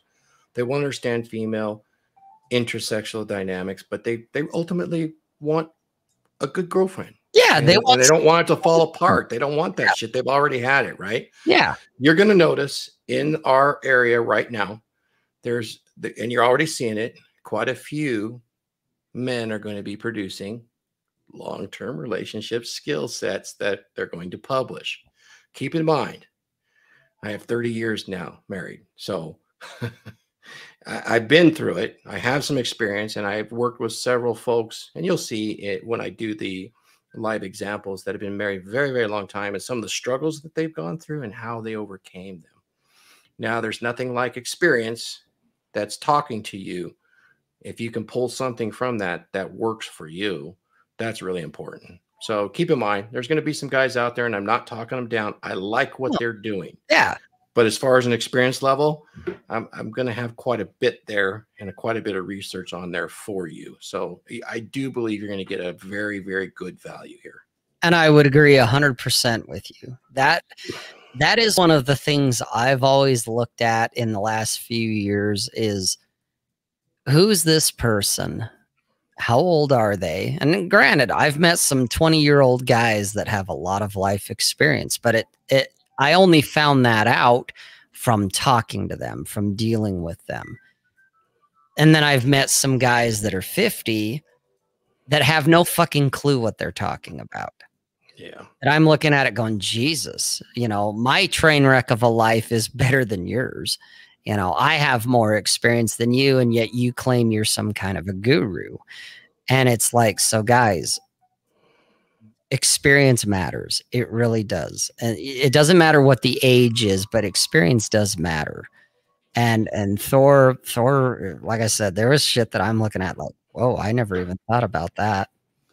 It just from looking at the preview, just from like he said, the lecture slides, without getting into the individual content where it's live or it's pre-recorded, it doesn't matter.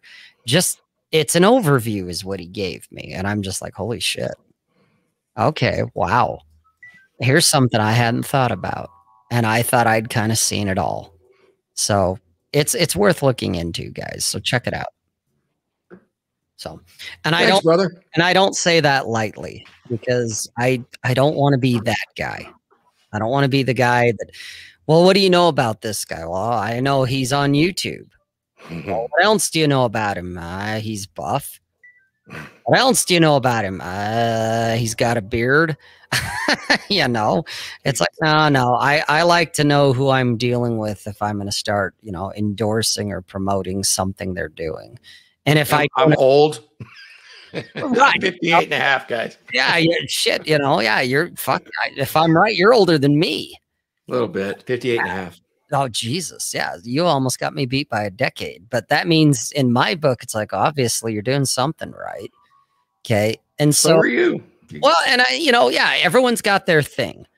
I'm okay to a large degree with chasing the dragon. I'm all right with it. I like new. I like strange. That's never changed. I'll slay me a dragon or two here and there. but there you go. Okay, some of the stuff that you you touched on that you sent to me, I'm like, you mean I can have someone? Because let's be honest, guys. One of the things that I find for me that can be very difficult is the nights. You're laying there in your bed, you're alone, and you got nothing but the dark and this empty fucking bed. And you're just like, fuck, what am I doing? And you start questioning yourself. You start questioning your life. You start questioning everything. You that's how I ended up staring down the barrel of a shotgun. Yeah. Okay. Because the nights are the hardest. Okay. When I was younger, doing the whole, you know, when I first bought my home, I was single for several years. And so it's all I really knew other than casual dating. And so you get used to that. It's it's because it's what you know. So you don't you don't think anything of it. But then you meet somebody, whether you marry them or you do LTR or they're kind of consistent, but you get used to having them around. And so having them in your bed, I have found is better than not having them in your bed. And, you know, waking up and you see them sleeping or whatever it is they're doing. Sometimes they're still awake, whatever. But they're there, the comfort, the the presence. And then to go when the relationship ends, whether you ended it or they ended it, it really doesn't matter in my book. But they're no longer there. And now you're back to it's nighttime, and the nighttime is always the hardest time. Yeah. And so with what Thor's got going on, he's he's offering an opportunity here to be like, "Hey, Rob, you like chasing the dragon, but being in bed alone's a drag. Well, I, I know a few things that may help you where you can kind of, you know, not to say eat, you know, have your cake and eat it too, but you kind of can. And it's like, I like that. I like that opportunity. And trust me, guys, it's not a pipe dream. And oh, well, if you just think positive. No, Thor's going to tell you, you got to do the fucking work. And here's the work, asshole. Okay. And it's going to suck sometimes. But you know what? Nothing of value is going to come easy. And it's going to hurt and it's going to suck. And you're not going to want to do it. And if you choose not to, well, that's on you. But at the same time, you can do it and you can have more. And so give it a shot. that's my thoughts. That's my endorsements. Eh, try it out. See what happens. What's worse? You can still do the same shit you're doing. Well, how's that working out for you? Well said, Rob. Thank you, man. You're welcome. So that's my take on it, guys. That's why I wanted Thor on. That's why I wanted to talk about some of his stuff without like giving away all the goodies. Is like you might actually be onto something here, Thor. And it's for a lot of guys, I think, because you mentioned it just a moment ago before I went on my long ramble here about a lot of guys ultimately they just want a girlfriend or a wife if that's if that's the direction they want to go. They want someone that's going to be around more than just for the night or for the weekend or for a month. They want someone that's going to be around for a little while. And what you're offering them the opportunity there is is to be able to create that. And that to me is that that is worth its weight in platinum because I think ultimately, you know, young guys that are 19, 18, 20, 21, yeah, they want to be players. They want to go out and bang a whole bunch of strange. I know, I get it. I go through that still. But picking up pussy and banging it and then fucking kicking them out the door is not hard. It's really not. It's a lot of times it is just being the right guy at the right place at the right time and just shutting your fucking mouth. But if you want to have one that I actually kind of like her. I like being around her and her her slot B fits well with my, you know, part A. Yep. And we have a lot of the same weird demented fantasies, whether it's sexual or otherwise. It doesn't matter. We actually get along. We actually get along with each other. We like being around each other other than just for sex. Uh, your favorite human being. There you go we all mm-hmm. want that on some level. I mean, I've even encountered players. You know, it's an amazing thing. I mean, changing that. You, you could be in the middle of the night and I hear this snoring going on. And you know what that tells me? She's alive and she's sitting right there. It's a good thing. It's not bad. It what it tells me when I've heard it is all mm-hmm. is right with the world. And, and, and it's my duty to protect her and offer those resources. There's a lot of fulfillment in that yeah. When it's done, it almost seems effortless. Seems effortless. Seems. There's a lot behind it. oh, and that's what I try. Yeah. yeah, there's a lot that fucking goes there. But if yeah. you can get it all in place, some of it, not all, but some of it kind of becomes second nature. Some of it becomes kind of autopilot. And the yep. burden isn't nearly as as hard as you think it is. No. And Mrs. Thor will tell you that she's very thankful that I do lead it and I do take that. She's she's very thankful for it and very happy about it. And she's kind of stunned to hear some of the people in our our our sphere and some of the modern women speaking. She's like, "What? It's like a different universe." yeah.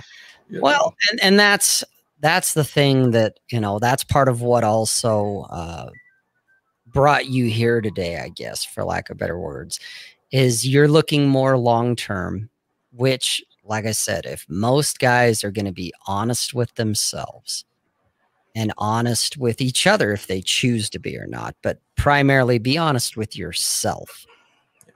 Most guys want, whether they want two or three or whatever, but they want at least one.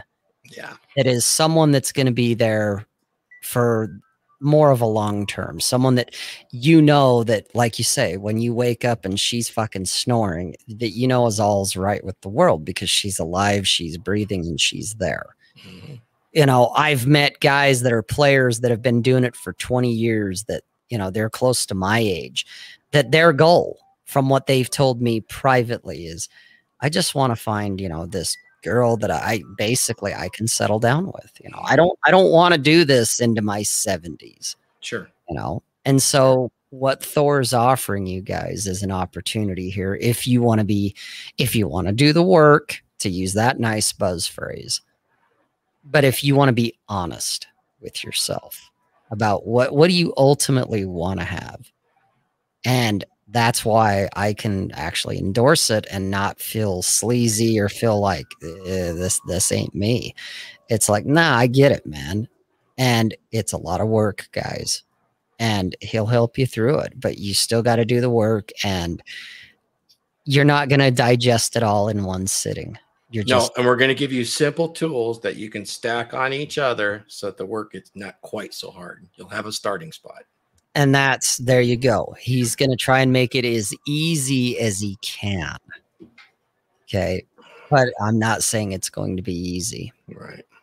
but nothing that is worth anything is easy anyway and you guys all know that so it's worth checking out guys so give it give it a give it a shot is is what i would say you know if if if that sounds like something you want i don't think you'll be disappointed i think you'll get a lot of value out of it i think you'll find something that'll work for you out of it whether you do want to chase the dragon or you decide no i don't either way, I think you'll find something of value there, something that is different from most of the stuff I've seen already.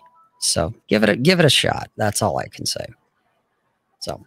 And that's not an, a paid endorsement. Dor- Thor has not thrown money at me. He's not been like, "What's your PayPal, dude? Here, let me throw you some money."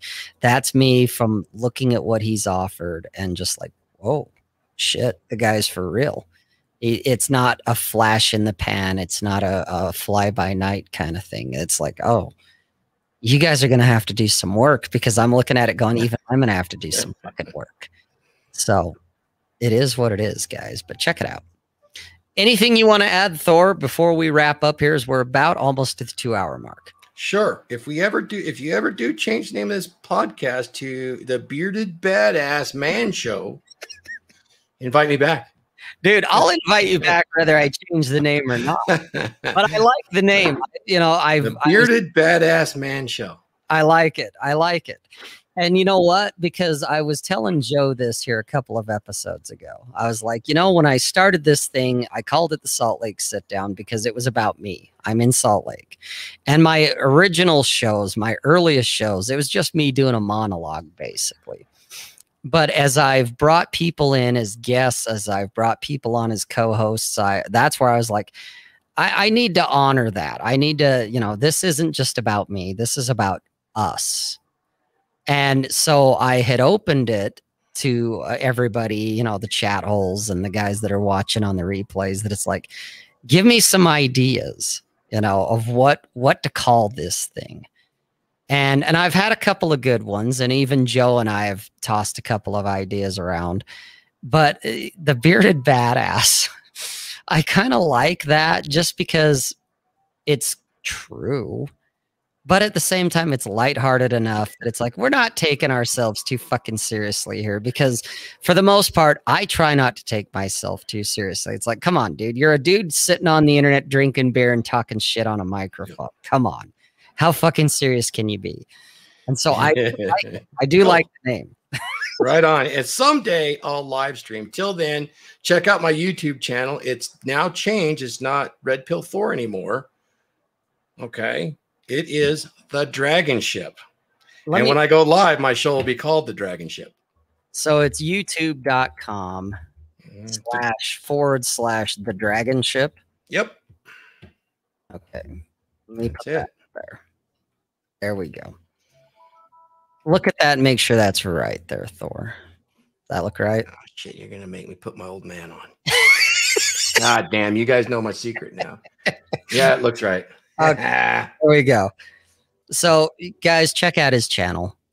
Uh, like I said, seriously consider and sign up for what he's offering because there's there's a lot there.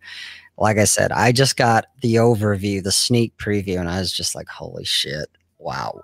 All right, so it's worth looking into.